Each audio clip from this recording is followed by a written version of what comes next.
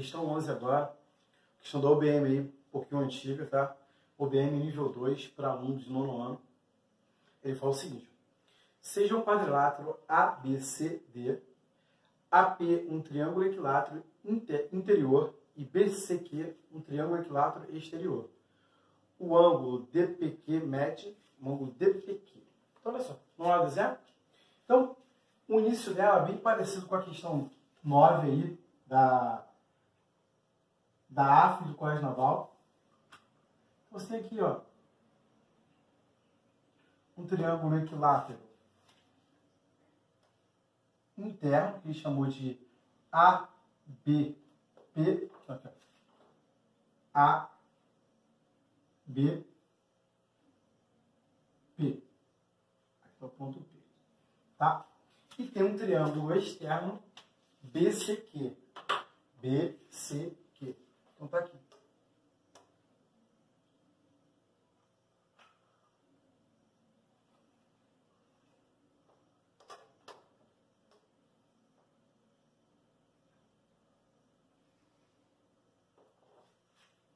Então é a figura.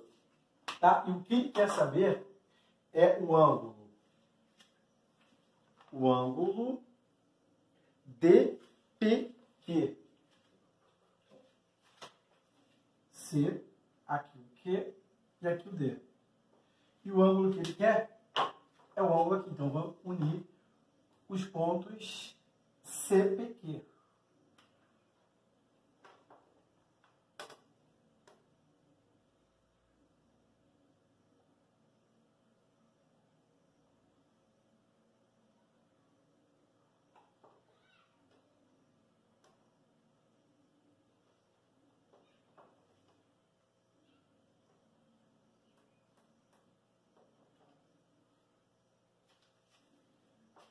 Ó, minha figura aí eu tentei deixar ela bem no padrão. E com esse padrão, cara, se você desenhou bem padronizado, você consegue perceber que o ângulo DPQ parece um ângulo raso. Se você não desenhou tão, é, tão padronizado por um padrão né, de desenho, você deve ter observado, ah, esse ângulo não pode ser 180 não. Em geometria, cara, se ele não falar nada, você tem que provar se é ou não é. Então aqui, vamos ver se realmente pela minha figura ele vale 180 ou se vale 180. Foi só um erro que de figura, é o seguinte, a figura não está em escala, não está padronizada, tá? Se sua figura não ficou retinha assim, é porque sua figura ficou fora de escala, a figura não estava padronizada, não tem problema. Mas se você provou que deu 180, é, 200 graus, o importante é que você provou, beleza? Vamos lá? Então, questão bem parecida com a anterior, então, olha só. O que acontece? Vou começar pelos triângulos equiláteros. Aqui você tem, ó, triângulo equilátero desse lado igual a esse, que é igual a esse, beleza? Os ângulos internos, todos valem igual a quanto? 60 graus, tá? 60 graus. Aqui vale 60. Pegando a questão anterior também, esse lado vai ser igual a esse, é isso? O lado do triângulo equilátero também é lado do quadrado. Então, aqui eu tenho o triângulo isósceles. Lembra disso? Aqui vai ser 30 graus, porque o que falta a este chegar a 90, já que é um quadrado. Tá? Aqui é a mesma coisa, ó. aqui também vale 30 graus, beleza? E vou aqui para esse triângulo agora. Esse aqui vale 60. Esse aqui também vale 60. E esse todo aqui vale 60. Beleza. Preciso colocar ele agora. Olha só o que acontece. É, você consegue perceber que o triângulo equilátero ABP e o BCQ, eles são iguais, são congruentes? Ah, Sandro, todo triângulo equilátero não são iguais, não? Não, pô. Eu posso ter medida de lados diferentes para um triângulo equilátero para outro de um para outro, os lados podem ser diferentes. Só que nesse caso aqui, eles têm o mesmo lado também. Porque, ó, o lado do quadrado é lado desse triângulo. Aqui, ó, o mesmo lado do quadrado também é lado desse triângulo aqui. Então, eles são iguais, aí são congruentes. Então, se você olhar para o triângulo, triângulo BPQ, perceber que ele é um triângulo retângulo? Aqui, ó. 90 graus aqui, 90. Ele é um triângulo retângulo isósceles, né? Só que eu vou fazer o cálculo ali. Aqui poderia, aqui poderia não. Aqui é 45 graus e aqui é 45 graus. Vou fazer o cálculo aqui, tá? Para deixar registrado aí. Vou fazer a questão só na figura mesmo. Ó. Triângulo B, P, Q, tá? Ele é retângulo, é retângulo e isósceles. E isósceles. Tá? Vamos lá. Se eu chamar esse ângulo aqui de x, esse aqui vai ser x também. Beleza? Então eu tenho 2x mais 90 graus, já aquele retângulo aqui, ó, 90. Tudo isso igual a 180 graus. Vou dividir a equação toda por 2, tá? Você pode fazer isso à vontade se observar que todo mundo é divisível por 2. 2x por 2 dá x. 90 por 2, 45. 180 por 2, 90. x vai ser igual a 90 menos 45. x igual a 45. Tá? Beleza? Então, esse ângulo aqui vale 45 graus e esse aqui vale 45 graus. Beleza. Mesmo eu tendo feito é, esse triângulo aqui na questão anterior, eu vou fazer de novo. Tenho uma outra questão, vou fazer ele de novo. Vou fazer aqui, ó. Tá? Vamos fazer aqui agora. O triângulo APD é um triângulo isósceles, né? Triângulo APD é isósceles.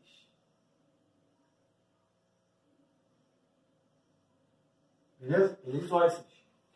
E esse ângulo aqui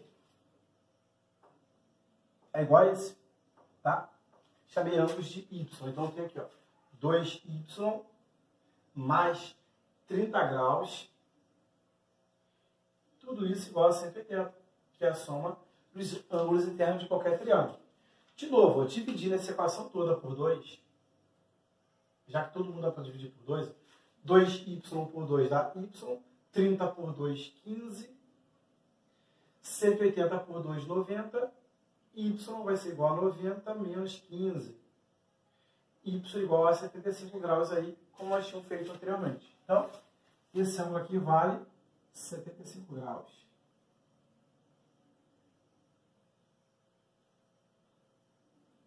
Tá? Então, vamos lá. Ó. Agora, vamos para a nossa parte final da questão, que é a seguinte. Tá? Olha para, o, olha para o, o ângulo, né? O ângulo, esse ângulo aqui todo, ó, em torno desse ponto. Tá? Então, esse ângulo aqui, o ângulo DPQ, eu vou chamar ele de Z. Tá? Eu, lembra que em torno de um ponto eu tenho um ponto de grau sempre 360. Então aqui eu tenho que Z mais 75 mais 60 mais 45. Tudo isso tem que dar quanto? 360 graus. Tá? Beleza? Então tenho que. E foi o que eu te falei? A figura ali favoreceu bastante para você quase que afirmar que era 180. Mas lembrando, figura não quer dizer nada. Ah, eu acho que é prova. Estamos provando. Tá? Então, ó, aqui eu tenho 75 mais 60, 135. 135 mais 45, 180. Tudo isso igual a 360 graus. Eu quero Z. Z vai ser igual a 360 graus menos 180. Tá? Z igual a 80, 180 graus. Beleza, então. Fechou. Então, gabarito letra... Vamos ver aqui. Gabarito letra C. Tá? Então, a, minha figura parecia já que era 180 ali. Eu tentei fazer o máximo uma figura padronizada. Tá? Eu imagino se você não tivesse régua. Ia ficar um pouco diferente a figura aí, mas você conseguia provar que era 180. fazendo esse mesmo cálculo que eu fiz, tá? Então, outra questão aí do Colégio Naval, tá? Cobra. A figura é idêntica a essa, tá? Vou fazer, mesmo tendo essa figura do lado, vou fazer tudo de novo aqui nela. Vou ter que fazer a mesma coisa que está aqui, mas vou fazer tudo de novo, tá? Reparou que tem concursos que cobram mesmo tipo de questão. Bom, é bom você já viu se cair algo parecido, já sabe como proceder, tá? Questão 12 aí, Colégio Naval, ele fala: considere um quadrado ABCD dois, e dois triângulos equiláteros, o APP e o BCQ, respectivamente. Um interno e outro externo, a figura é idêntica. Tá? Interno e outro externo. Ao quadrado. A soma das medidas do ângulo ADP mais BQC, B, BQP e B e DPQ é igual a... Opa, então, vamos desenhar aí.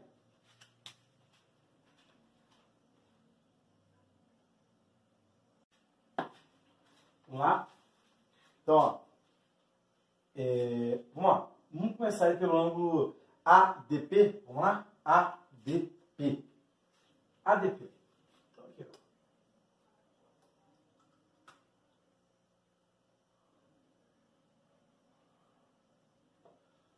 Então, triângulo ADP. Lembrando de novo, ó, se o triângulo APB é um triângulo equilátero, então esse lado é igual a esse, é igual a esse.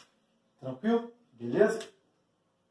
Também tem que é igual a esse aqui, que é lado do quadrado, que é igual a esse. Todos os lados são iguais aqui, tá? Porque todo mundo tem o mesmo lado comum, né? Todo mundo é igual ao lado do quadrado ali. Vamos lá. Se o triângulo é equilátero, de novo, aqui ó, 60 graus, 60 graus. Aqui, ó, 60 graus. Aqui é 60. E aqui é 60 também. E esse aqui também é 60. Só que eu vou dar um traçado ali, né? Parecido com lá, não vou colocar para ficar feio. Então, outra coisa. O vértice do quadrado, cada ângulo vale quantos graus? 90? Tem um 60. Falta um ponto para chegar a 90. 30 graus aqui aqui também. 30 graus aqui. Pronto? Então agora vamos para o triângulo. Triângulo APD. O triângulo APD ele é isósceles, né? Ele é isósceles. Com o lado AD igual ao lado AP. É isósceles. Então eu tenho o seguinte, vou chamar esse ângulo aqui de Azinho. Esse aqui também vai ser azul. Tá? Então eu tenho o dobro de A mais 30 graus, que me dá quanto? 180. Tá? 180 aí que é a soma dos ângulos internos de qualquer triângulo. Então, dividindo a equação toda por 2, para um pouco mais rápido, né? 2A dividido por 2, A. 30 dividido por 2, 15. 180 graus por 2, 90 graus. Tá? Eu quero A. Vou isolar o A e vou passar o 15 graus para o outro lado, só que diminuindo. Então, 90 graus menos 15 graus dá o quê? 75 graus. Então, já achei o ângulo que ele queria. Ele queria o ângulo ADP. Ele vale 75 graus. Beleza. O outro que eu preciso achar é o B BQP. B, B, Q até P. Então, vou traçar aqui, ó.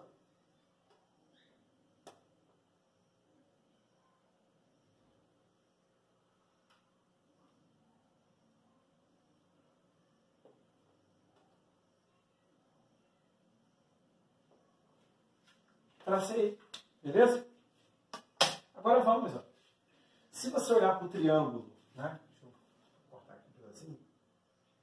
Se você olhar para o triângulo, triângulo B, Q, P é um triângulo que tem um ângulo de 90, logo ele é um triângulo retângulo, é retângulo, e isósceles. Retângulo isósceles. Então, vou chamar esse ângulo aqui de B. Vou chamar esse ângulo aqui também de B. Beleza? Então, eu tenho um dobro de B mais 90 graus, que é um triângulo retângulo. Tudo isso igual a 180, porque em qualquer triângulo, a soma dos ângulos internos é igual a 180. Dividindo a equação toda por 2, já que todo mundo é divisível por 2, então eu vou ter o seguinte. 2b dividido por 2, 1b. 90 dividido por 2, 45. 180 dividido por 2, 90. Logo, eu tenho que b vai ser igual a 90 menos 45. Então, logo, B igual a 45 graus. Tá? Então, aqui eu tenho 45 graus. E aqui eu tenho 45 graus. Tá? Se você olhou, essa questão do colégio naval é idêntica da UBM. Então, essa colégio naval aqui, se não falha a memória, ela caiu na prova colégio naval em 2002. Essa UBM aqui é de é entre 2000, 2006 e 2008. Acho que não passa disso, nessa época aí. Tá? Então, Colégio Naval apareceu primeiro, então quem, já, quem fez OBM com certeza fez uma bateria imensa de exercícios e já tinha feito essa, quando bateu de frente com essa, foi idêntica. Tá? Só que ele pediu menos, menos coisa, né? Assim, mas a maneira de resolver foi idêntica, você reparou? Então, olha só. Agora vamos em busca do ângulo DPQ. Então, esse ângulo aqui, ele é o mesmo ângulo que tem lá, ó. Aqui, esse ângulo aqui, ó. Que aqui eu vou chamar de C. Tá? Eu quero achar o ângulo C. Então, vou chamar aqui de 1. Aqui de 2. Agora aqui 3. No 3 eu tenho o seguinte, em torno de um ponto, né, que é esse ponto P, em torno dele eu tenho quantos graus?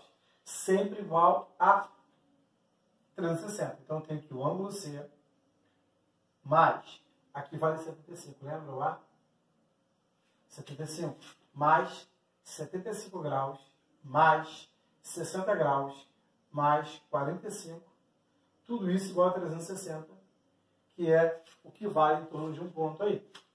Então, eu tenho que o ângulo C mais 180, que esse aqui, ó, igual a 360 eu tenho que o ângulo C vai ser igual a 360 menos 180. Logo, o ângulo C vale 180 graus. Só que a questão está pedindo, na realidade, também, a questão pede. A questão quer saber o seguinte, ele quer a soma do ângulo A, né, que foi o ângulo ADP, então ele quer A, mais o ângulo B, que foi B PQ ou BQP, tanto faz, 45, mais o ângulo C. Tá? Então, eu tenho 75 graus mais 45 graus mais 180.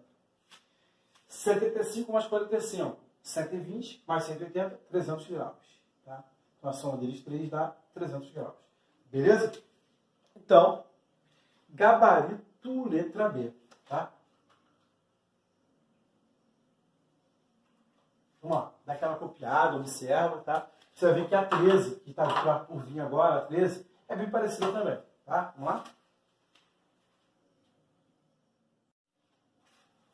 Vamos lá, galera. Questão 13 agora. Bem parecido, né? Figura também, bem parecida. Ele fala o seguinte, ó. Na figura a seguir, ABCD é um quadrado, D, né, ADJ e C e D são triângulos equilátero. Né? A medida do ângulo IJA. IJA. Então, a régua maior. Sei lá. Uhum.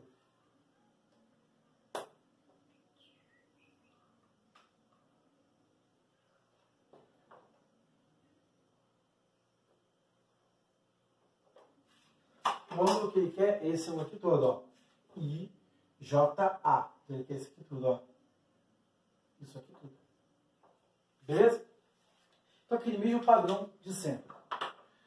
o triângulo aqui, o triângulo ADJ é equilátero. Então, tem todos os lados iguais, beleza? Os ângulos internos são todos iguais a 60 graus. Então, a parte do ângulo que eu quero, eu já tenho aqui, ó, 60 graus. Basta achar esse pedaço aqui, já que eu não sei, eu chamar de x. Então, o ângulo IJA, ele vale 60 mais x. Então, tem que achar o x. Aqui, de novo, ó, o triângulo CID, ou CDI, ele vale 60 graus aqui, aqui também e aqui. Por quê? Ele é equilátero, tá? Então, aqui, aquela mesma ideia. Tá vendo o triângulo DIJ? Tá vendo ele? Ele é um triângulo retângulo, porque aqui é 30 graus. Aqui tem que ser 90, então aqui é 30. É o que está faltando para chegar a 90. Então, de novo, os lados do triângulo são iguais aos lados do quadrado. Então, o triângulo IDJ ou DIJ é um triângulo retângulo e isósceles. Então, triângulo DIJ é retângulo e isósceles.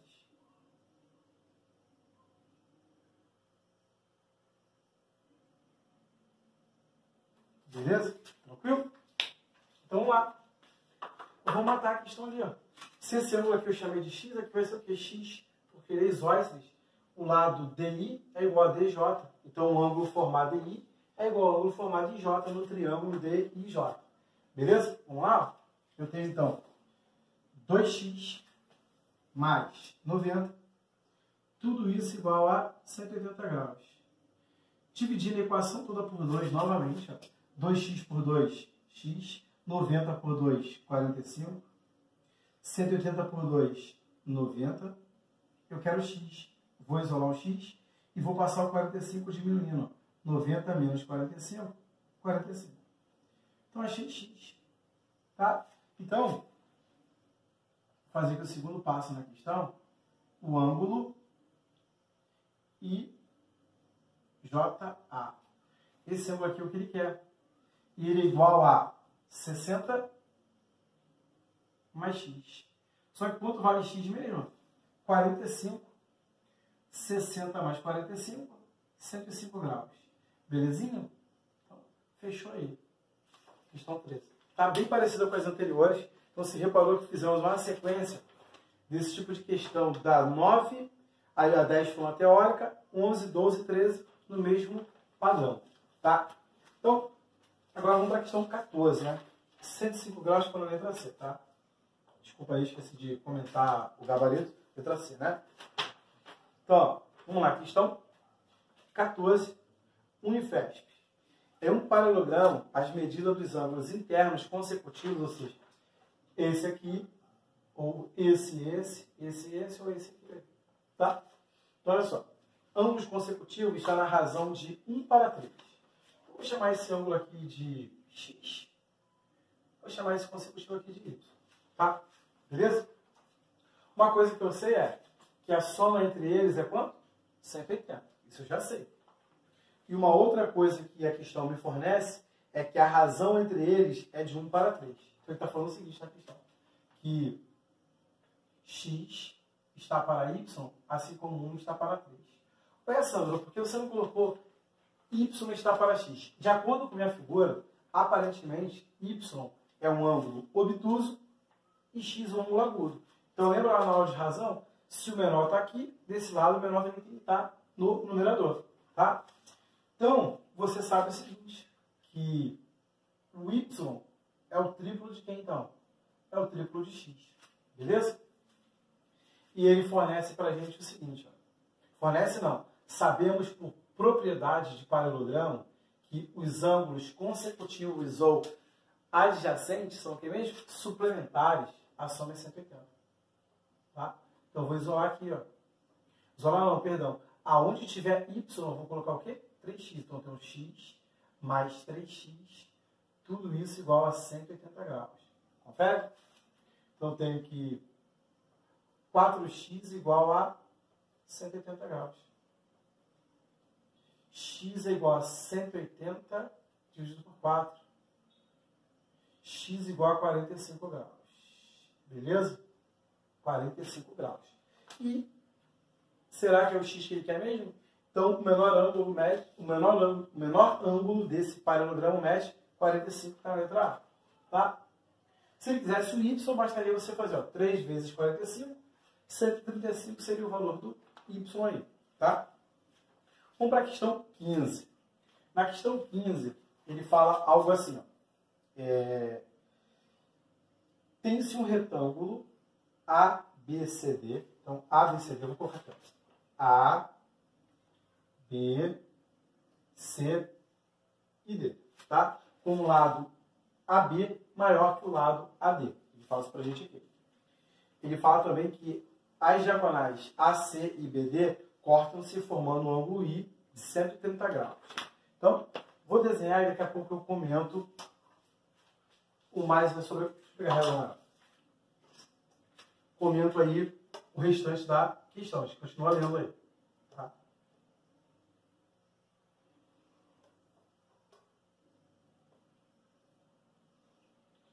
Tracei DB, agora vou traçar AC.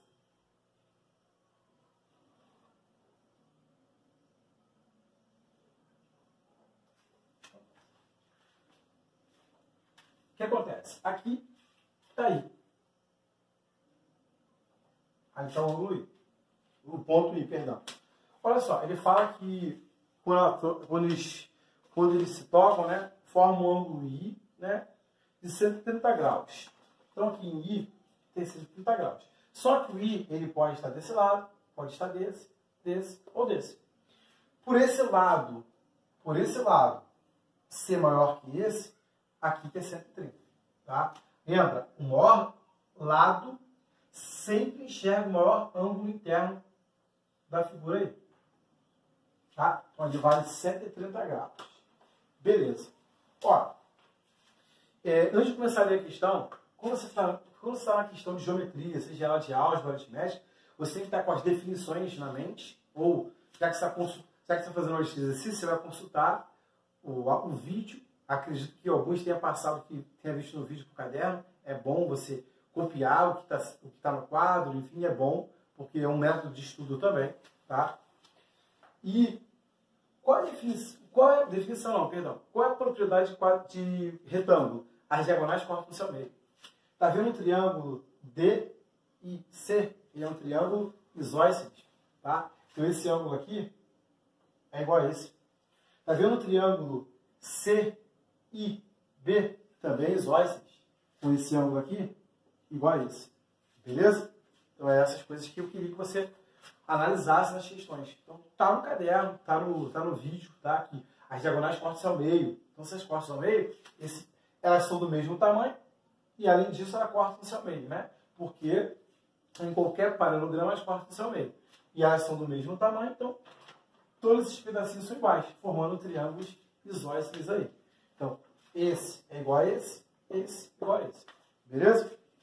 Continuando a leitura, ele fala também o seguinte. Sobre AC, traça-se uma perpendicular BM. Tá? Sobre AC, traça uma perpendicular BM. Vou traçar isso agora. Aí ele fala também que a bissetriz do ângulo IBM intercepta CD no ponto F. Calcule o ângulo BFC. Olha só. Beleza. Vou traçar essa perpendicular aí que ele falou para mim.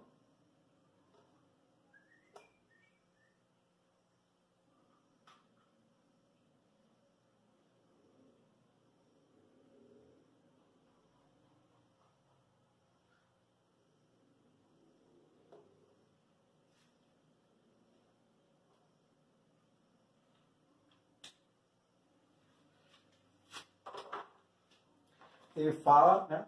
traça-se uma perpendicular, né? traça uma perpendicular BM sobre AC, tra, sobre AC, né? AC, poxa, show.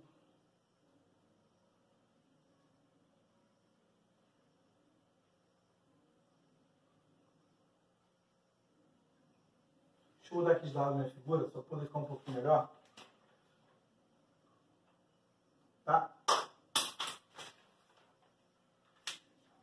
Ele fala para a gente o seguinte, né? Sobre AC de B, né? Modelei para poder ficar um pouquinho melhor. Traça uma perpendicular.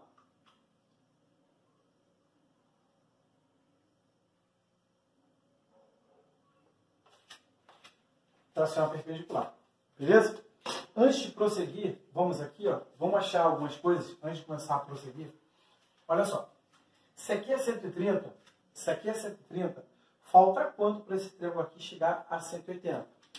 50. E o 50 foi dividido.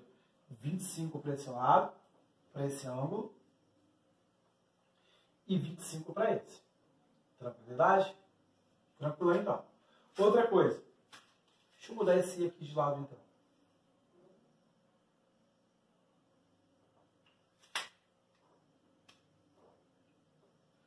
Olha o que acontece. Aqui é 130. Falta quanto para chegar a 180, né? Um ângulo raso ali, 50 graus.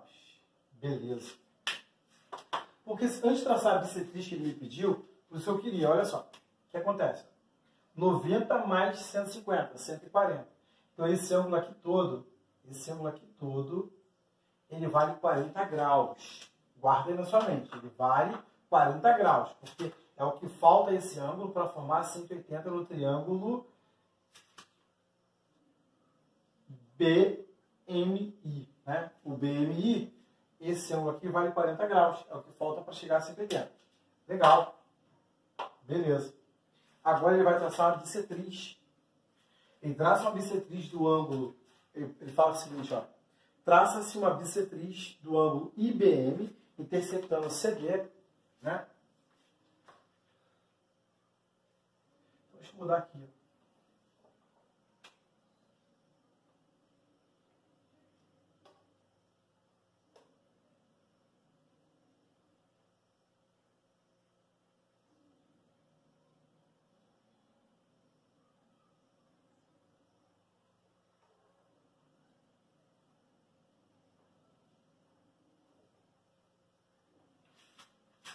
Então, ó, tracei uma bissetriz. Olha só o que acontece então agora, ó. Esse ângulo aqui, deixa eu ficar com outra cor. Está muito verde ali já. Então esse ângulo aqui, ó, ele vale 20 graus. E esse aqui vale 20 também, já é uma bissetriz. Beleza? Olha só para o nosso ângulo ali, ali. Antes de finalizar, olha o que acontece. Nesse vértice B, ele todo aqui, ó, no vértice B do retângulo, não vale 90 graus? Eu tenho 25 mais 40, 65. Faltou quanto para chegar a 90 graus? 25. Então, esse ângulo aqui vale 25 graus. Tá? Agora eu quero que você observe só esse triângulo aqui que eu vou destacar aqui para gente. Vou destacar um triângulo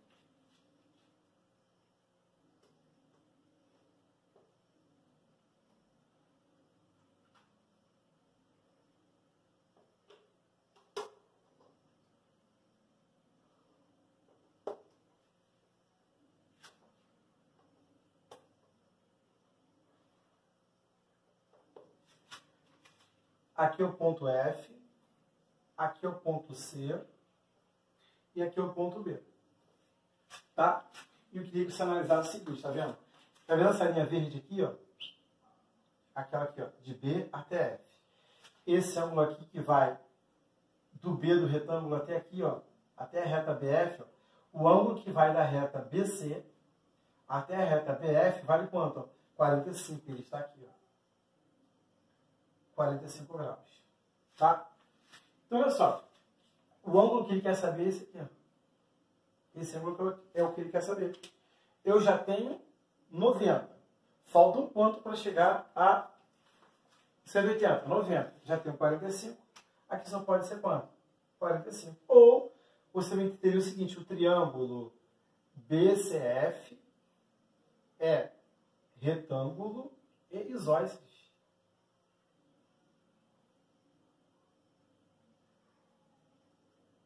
Tá? Um triângulo retângulo isósceles sempre tem essa configuração. Dois ângulos de 45 e um de 90. Beleza? Que opção tem 45 graus aí?